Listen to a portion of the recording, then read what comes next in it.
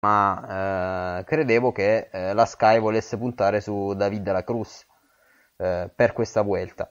Sì, in partenza era della Cruz il capitano, al momento è ancora assolutamente in classifica e a meno di un minuto di, da, da Kwiatkowski, di fatto svantaggio accumulato tutto durante, durante la cronometro. Certo è che possiamo seguire con interesse l'evolversi di questa corsa e le prospettive di Kwiatkowski circa la possibilità di fare classifica generale. Su questo vorrei dare un attimo la parola a Primo perché è stato uno dei primi sempre il gioco di parole, vabbè, a dire che c'era puzza di Austria nelle prestazioni di Kwiatowski. Ripeto quello che poi eh, era stato detto in una puntata che è andata per, persa, ma che recupereremo, abbiamo recuperato tutto il resto. Secondo me, qualsiasi discorso si debba fare circa i favoriti di Innsbruck eh, discorso che va preliminarmente, eh, cioè deve essere anticipato da un discorso preliminare sul percorso, quello che ci aspettiamo. Chiaramente c'è una linea di pensiero, un'interpretazione che dice che il mondiale di Innsbruck sarà necessariamente un mondiale per scalatori duri e puri che hanno anche una certa attitudine ad affrontare corse di un giorno, con tutte le implicazioni tattiche e anche tecniche che ciò ne deriva. E poi c'è una linea che dice senza arrivare a Sagan là secondo me è un discorso estremamente avventato e poi chiudo sulla prognosi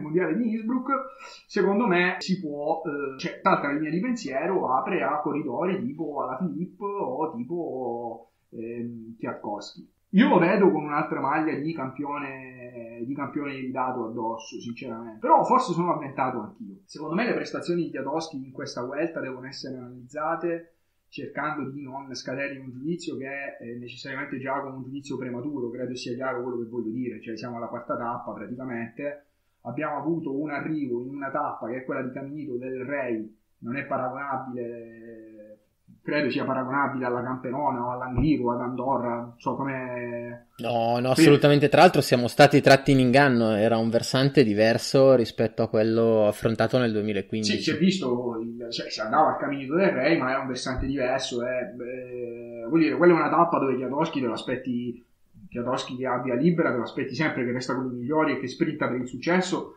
nonostante in quel contesto Valverde oltre ad avermi dato una grande soddisfazione, ha dimostrato per l'ennesima volta di essere un corridore dallo spessore immenso. Ha fatto una cosa stellare, i nostri ascoltatori l'hanno vista, bellissima secondo me. È andato a riprendere De Plus, è andato lui, Chiatoschi sulle ruote. Nel momento in cui ha ripreso De Plus si è trovato in testa, poi Chiatoschi ha cercato di fregarlo, ma lui ha messo la zampata. Una cosa veramente bella, questo per cercare qualcosa di gradevole anche in tappe che non offrono magari un grandissimo spettacolo, sebbene comunque il percorso della Vuelta l'abbiamo mezzo sommerso e mezzo salvato. L'uomo di riferimento per la classifica generale del Team Sky per me rimane della Cruz, il fatto che ci trovi un po' più indietro in classifica è eh, frutto eh, di, eh, delle ragioni che tu hai correttamente spiegato, ma secondo me rimane lui l'uomo di riferimento per la classifica, posto che io ritengo che Chiatoschi abbia un grosso interesse per Innsbruck e che quindi insieme con quegli atleti che hanno un grosso interesse per Innsbruck, non si spremerà fino alla ventunesima. Quindi ricollego al tuo discorso introduttivo della Vuelta, non della puntata in corso, ma della puntata scorsa, quella in cui eravamo sugli soletti, in cui di fatto hai parlato di Vuelta a due velocità. Se noi prendiamo la classifica generale, queste quattro tappe non ci hanno detto magari tantissimo dal punto di vista del fare, ma ci hanno detto molto dal punto di vista del non fare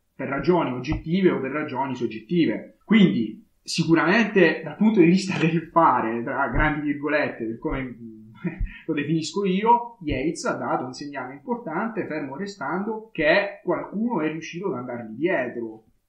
Qualcuno è Bookman, che se mi consenti una, una piccola parentesi polemica, ecco per dire, non sono soltanto gli esperti della carta stampata che pontificano a volte senza grande fondamento, ma sono anche altri che nel momento in cui la Bora indica Bookman come il capitano eh, lo devono far passare per sorpresa. C'era un comunicato di Bora che indicava Bookman come capitano, poi si poteva discutere del fatto che Bookman potesse far bene o male a questa volta e ancora non abbiamo una risposta in questo senso perché siamo ancora alla quarta. Però il fatto, Ma il fatto sì, che è prestissimo per fare valutazioni al momento. Formolo, almeno sulla, cas- sulla carta, fossero un passetto dietro, non lo diceva un passetto, un passone dietro, non lo diceva la comune credenza, ma lo diceva la Bora stessa. E se prendiamo la classifica generale, mi sembra che abbiamo delle indicazioni precise in questo senso che rispecchiano con fedeltà quello che era stato il comunicato di, della squadra della compagine di Dance. Sul fare e non fare, primo,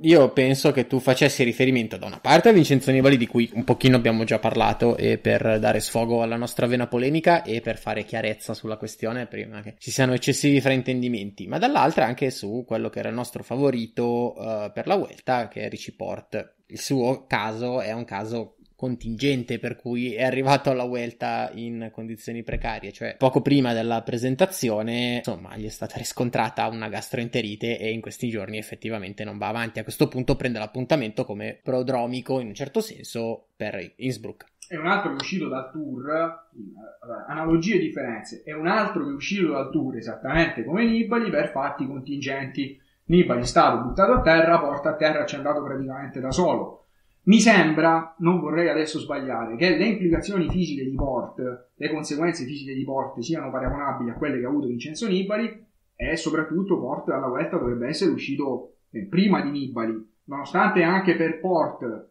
si sarebbe potuto pensare a una, eh, a una visione eh, lungimirante per Innsbruck, secondo me per Port poteva dirsi che la classifica generale della Vuelta era un obiettivo, date le modalità attraverso cui Porto è uscito dal Tour de France, al di là di quelle che poi erano le sue determinazioni, che se ci arrivi nelle condizioni in cui ci è arrivato Nibali, hai delle ragioni oggettive che ti spingono a non poter parlare di un competitor serio per la classifica generale. Quanto riguarda Port, può valere un discorso diverso, cioè magari voglio preparare soltanto la gamba in vista di Innsbruck, ma è assolutamente assennato, secondo me, fare un pronostico come quello che abbiamo fatto noi settimana scorsa e dire porta il classico esempio di chi quest'anno deve far valere la Vuelta come esame di riparazione, esattamente Deve far valere anche un bel viaggio a Lourdes come esame di riparazione. Spero che il discorso sia chiaro in questo senso. Dire, no? Sì, sì, è, è, chiaro, ma. Casi diversi, ora, casi diversi ma... se, se, andiamo a considerare, se andiamo a considerare le, eh, le, dichiarazioni degli atleti stessi, cioè da una parte abbiamo Nibali che aveva in programma questa Vuelta come test di preparazione per Innsbruck da quando è stato presentato il percorso di Innsbruck, cioè quando lui ha detto io l'anno prossimo farò il tour, la Vuelta e il Mondiale e la Vuelta la farò solo ed esclusivamente come corsa di preparazione. Questo era chiaro da ottobre dell'anno scorso. Sì, nonostante ci sia un comune amico che dica che le dichiarazioni degli atleti debbano essere prese con le molle oppure no, lasciatele perdere. Ma io non le lascio perdere. Io vedo che cosa dicono, vedo se mi convincono, sento che cosa dicono, posso riscontrare della coerenza in quello che dicono, comunque posso dire si stanno nascondendo o non si stanno nascondendo. Però è chiaro che là era stato lui a dirlo ma peraltro di che cosa stiamo parlando? Un atleta che oltre ad andare forte in salita, oltre ad andare forte in un percorso come Innsbruck, oltre ad avere dei grandi giri in carniere, è uno che ha un'attitudine per le corse di un giorno dimostrata dalle vittorie a Lombardia, da quella Liegi che Glinsky gli ha strappato. Quest'anno esordisce vincendosi la Milano-Sanremo, da, praticamente da imbucato. Cioè, che, che, cosa fai? Pensi che esca dal tour andando a spremersi anche alla Vuelta. Cioè noi immaginiamo una cosa, immaginiamo che Nibali non sia mai caduto al tour. Al tour Nibali che doveva fare Giacomo? Doveva spremersi fino all'ultima tappa perché Nibali il tour l'aveva messo in programma per vincerlo, per competere con Froome. Quindi immaginiamo le cose andate diversamente. Nibali esce dal tour spremuto, lo vince, lo perde da Froome, ma arriva alla ventunesima tappa senza che nessuno lo butta a terra. Che cosa fa poi? Fa la vuelta, la spinge fino in fondo, si distrugge la vuelta, poi va a Innsbruck, vince anche Innsbruck. Il 13 ottobre c'è Lombardia e che diamine, cioè... Eh, Voglio... No, poi cucina. Dopo penso che debba anche preparare da mangiare per tutta la squadra. Un certo Sai punto. che casa mia è aperta sempre. Vuole, nonostante diamo Vincenzo, simpatia antipatia, ma Vincenzo. Vincenzo Nibali, voglio dire, sarebbe anche. Comunque, eh, invece le dichiarazioni di Port, stavo dicendo, sono dichiarazioni che sono arrivate dopo la notizia che lui stava male. Lui ha detto, eh no, adesso preparo Innsbruck. Era compatibile il fatto che lui potesse effettivamente provare a fare bene a, in, in, questa vuelta. Poi le cose sono andate diversamente, a questo punto prenderà, um, prenderà uh, le dovute conseguenze, cioè correrà la corsa come test di preparazione per il campionato del mondo. Ci sono anche, per quanto riguarda il non fare, per quanto riguarda quelle, eh, quelle indicazioni importanti dal punto di vista del non fare al di là della credibilità o meno, è un pezzo di carta, ti segni tutti quelli che col 10%, col 99% la Vuelta possono, potrebbero, vorrebbero vincerla, tiri fuori un elenco di nomi. Da questo elenco di nomi tanti possono essere depennati. Dan Martin, la BMC che ormai si trova completamente senza uomini, qualcuno aveva paventato De Marchi facesse classifica generale, mi sembra che sia molto indietro. Dan Martin l'ho appena detto, poi che altro c'è? Eh, Menties, le cui credenziali, voglio dire, non è che erano altissime, stagione infernale per Luis Menties. Eh, Zaccarin stesso in una situazione analoga. Zaccarin in una situazione analoga, oggi è andato molto male, oggi registriamo che eh, si è conclusa la quarta tappa. Eh, Michael Woods, che qualcuno aveva pensato come uomo potesse fare classifica generale per la Vuelta, tante sono state le defezioni, rimane un nugolo di uomini in testa a questi uomini al momento c'è Kwiatkowski, rimango dell'avviso che della Cruzzi sia l'uomo di classifica generale del Team Sky, poi dietro c'è Bookman, Yates, suo fratello, dichiarazioni un po' parabole della Mitchelton, Yates, Simon e il capitano, anche loro l'avevano detto. Vediamo che cosa farà Adam, vediamo che cosa farà la strada. Adam ha preso i minuti già all'inizio, quindi un altro nome che possiamo togliere qualora fosse rimasto il minimo dubbio. Abbiamo ancora una classifica generale dove Tony Gallopen è settimo, Sappiamo che l'uomo di classifica generale molto probabilmente della Quickstep sarà Enric Mas, sebbene De Plus oggi non abbia preso l'imbarcata ma ha perso qualcosa, ha un minutino, oggi è rimasto un pochino indietro, ha perso qualche minuto, e poi davanti ci sono nomi importanti, ci sono i colombiani, scorso Quintana l'abbiamo già affrontato, Enrico Berto Uran è ancora nel range dei 50 secondi, c'è Miguel Angel Lopez che io uso per farti commentare delle dichiarazioni di Martinelli chiaramente reato di lesa onestà non c'è, hai letto che cosa ha detto Martinelli, concentrare, ha detto che dovrebbe concentrarsi per il mondiale di Innsbruck, un ragazzo ancora giovane, quest'anno nei grandi giri ha già fatto bene, che è arrivato terzo al Giro d'Italia, sì, la Vuelta, però Innsbruck, anche perché la Colombia avrà una squadra fortissima. Ha parlato anche di Sosa, ha detto secondo me non dovrebbe correre tra gli under 23, dovrebbe correre tra i senior perché quando corri dove sei più forte tutti ti corrono contro non sono dichiarazioni meno convinto. Rimaniamo a Lopez senza andare a Innsbruck. Per me la Vuelta Lopez deve correre per vincerla, eh. Tutti rispetto per Martinelli.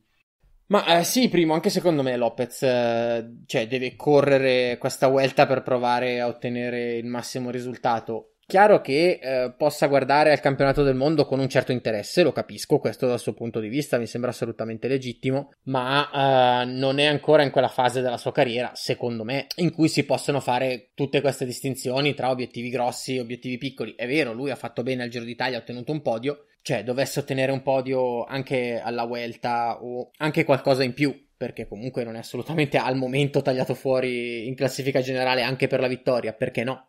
Cioè, non, è questo che non, che non capisco della dichiarazione di Martinelli, devo essere sincero. E poi Giacomo c'è questa vuelta a doppia velocità, sempre per, per citare una tua interessante espressione con cui l'hai introdotta settimana scorsa, sussiste il, il rischio Cobbo Sebbo, secondo te il rischio sorpresa? no, è, interess- è, interessante questo in, aspetto, cioè individu- individuare la fisionomia che potrebbe avere la sorpresa è particolare se la sorpresa la ricolleghiamo a una figura come quella di Cobbo Sebbo. Chi è il Cobbo Sebbo di questa eh, vuelta? Dimmelo tu. Guarda, è, è, molto difficile valutare chi eh, può avere la fisionomia di Juan José Cobbo Sebbo, corridore della Geox che ha 30 anni nel 2011 la prima Vuelta di Sagan, peraltro, vince quella Vuelta. Peraltro sono andato a recuperare un po' di materiale. Destava più impressione il secondo posto di Froome. Questo ragazzo è sbucato dal nulla, Coppa Serbo almeno di... se ne parlava come di un talento in Spagna. Questo Froome chi è? Eh... no, eh... Che meraviglie, che meraviglie. Ah, guarda, eh, non lo so una tappa al Tour, la tappa di Piepoli, eh, un decimo posto alla Vuelta del 2009 come migliori risultati di un grande giro e un diciannovesimo al Tour del 2007. Un corridore che quattro anni prima vinse i Paesi Baschi e che nel Palmares aveva circa 7-8 vittorie, tappa ai Baschi, Burgos, eh, volta ciclista Portugal, che poi sarà oggetto della domanda del nostro ascoltatore, non so chi può avere quella fisionomia, cioè effettivamente tra i corridori, quelli che vediamo in quel gruppetto, eh, chi può essere l'outsider con quelle caratteristiche, senza fare valutazioni su quella volta del 2011, acqua passata, acqua passata. Acqua, acqua, passata, ma uh, non lo so, non lo so chi possa essere effettivamente quella, quel, quel, personaggio alla Kobo Sebo per, uh, per utilizzare questa terminologia. Boh, forse Tony Gallopen, guardando nomi degli, delle persone nel gruppo, nel gruppo di testa o Ioni Zaghirre, però